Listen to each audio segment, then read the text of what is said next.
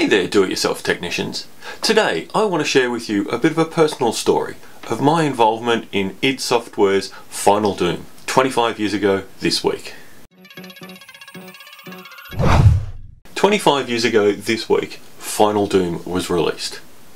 Yep, 25 years on. Wow.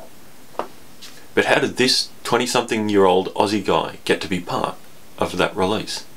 It's an interesting story. When Doom 1 and then Doom 2 came out in the early 90s, it was, firstly, a great game. If you like the run around shoot 'em up type games, which I do. But one of the great things about Doom is you could actually edit the levels and create your own. And there was a huge realm of sites out there that distributed them and shared them and reviewed them and played them. One of the places most of those editors got together in those days was the Doom Editors mailing list. Now you gotta remember, this was the early 90s, the early days of the internet. Just about everybody still had dial-up, me included at home. Mailing lists were the best way to communicate with a bunch of people. But we set up a breakaway group from that list with the lofty goal of recreating all 32 levels of Doom 2 plus new music and releasing it as one big pack. We wanted to do it right, and we formed a group we called Team TNT. To be honest, I'm not even sure what TNT stood for. It was a long time ago. It was a giant project and took us months because we really did want to do it right. As I said, it was the early days of the internet, so we were having to FTP files backwards and forwards, and occasionally I would get on the IRC chat to communicate directly with people. But the time zones made that pretty difficult. If you're not familiar with IRC, it's kind of the predecessor to the open online chats with things like Discord, and I did an episode about that up here. Time zones definitely made it interesting. It was helpful in some ways because I could complete a level, FTP it up to the main servers, and then go to bed. While I was in bed, the guys could download it, test it, try it, and do the full quality assurance run on it before giving me some feedback to work on the next day. Of course, I did have a full-time job at the time working for RMIT University, which was handy because I had great internet access, but also did take up a fair bit of time as well. Not to mention being newly married, I'm not sure how Bernie put up with me. Interestingly enough, I noted a few years later that while creating some of the Star Wars movies, they made use of that same technique. They'd shoot all day in the US, ship the files to Australia and have them worked on overnight, and have a rough cut the next morning so that they could see what they needed to shoot again the following day. As I said, we had a pretty stringent QA process. We really wanted this done right. There were lots of levels out there that you could download but many of them were, frankly, crap. There's a lot of work to do to make sure all of your textures are aligned and straight. There weren't any weird gaps and that anybody could play through it at the various different levels of difficulty and make it fun. But we finally pulled all 32 levels together and mine was listed at level 26. So it was one of the harder levels near the finish. But then, the day before we were about to release it free on the internet, John Romero from id Software made contact with the team and offered to buy the whole lot. That was a huge shock for us and for the community. For us, it was, woohoo, we'll be part of something huge. For the community, it was a bit of a bummer because this thing that they'd been hearing about for months wasn't going to be released to them free, and we did cop a bit of flack for that. In the end, the fee negotiated was 38,925 US dollars. I'm not sure how they came to that amount, but that's what happened. For many of us, it was quite a staggering amount of money, although in reality, considering what they probably sold it for, it was pittance. Not that I harbour any grudges for that. The original intention of Final Doom is that it would fill the gap between the release of Doom 2, which had been a couple of years ago, and the upcoming release of Quake. Unfortunately, the legal process of getting 44 people or something like that to sign legal documents in 14 different countries and pull it all together took quite a bit longer than we intended. In the end, somehow it only got released a week before Quake, which was pretty disappointing for us, and I think probably for them. But they were probably both trying to hit the June school holidays in the Northern Hemisphere. For my part, I ended up with something like 700 Australian dollars, which was huge in those days. I also got two copies of the software, of which I have one left. Who knows where the other one ended up. I also got this t-shirt with the Final Doom logo on it. It also has member of Team TNT, creators of Final Doom on the sleeve, so it's fairly unique in that respect. It was a fun project and a really great experience. I really did learn so much about collaboration in those really early days of the internet. Just for a bit of a laugh, I thought I'd pull out the old game and give it a run. Now the great thing about software from 25 years ago is it runs on just about anything, if it will run at all. As it stands, the installed version is for Windows 95 and won't actually run on a Windows 10 computer. But there are lots of ports out there of the Doom engine to more modern operating systems. And I found Chocolate Doom, which was designed to be a vanilla type Doom and then upgraded to chocolate and managed to get it to run on that. As I said, it was a crappy old computer and I didn't spend a lot of time setting it up. But here's me running through the first three quarters of level 26 of TNT Evilution.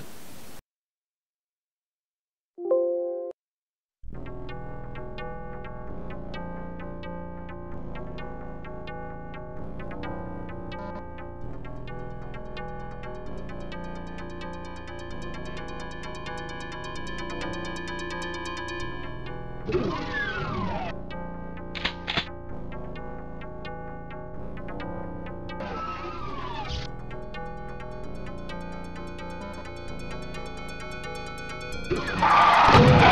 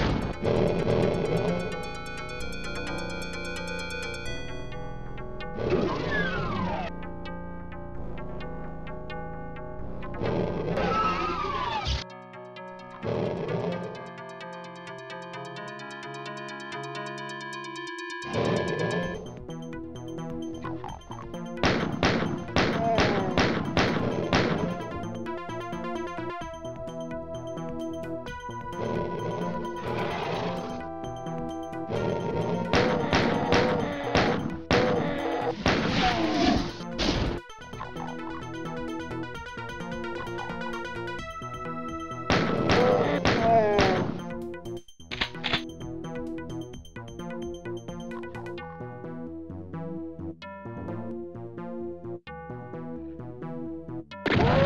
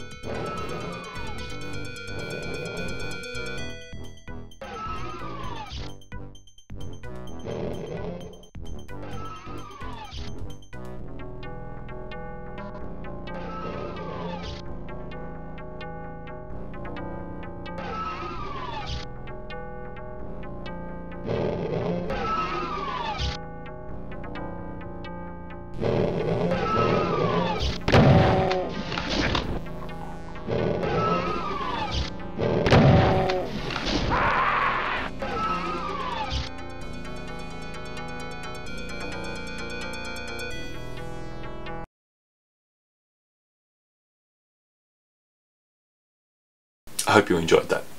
Question of the day. Have you even heard of Final Doom? Let me know in the comments down below. And if you enjoyed this episode, give it a thumbs up. Thank you so much.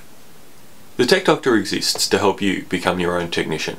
learn about the technology, protect yourself from the bad guys, and fix it when it breaks. If you're watching this on YouTube, there's some older episodes you may not have seen before, here and here, and you can subscribe to the channel by clicking down here and our mailing list by clicking up here. Thank you so much for watching, have a great day, and I'll see you on the next episode.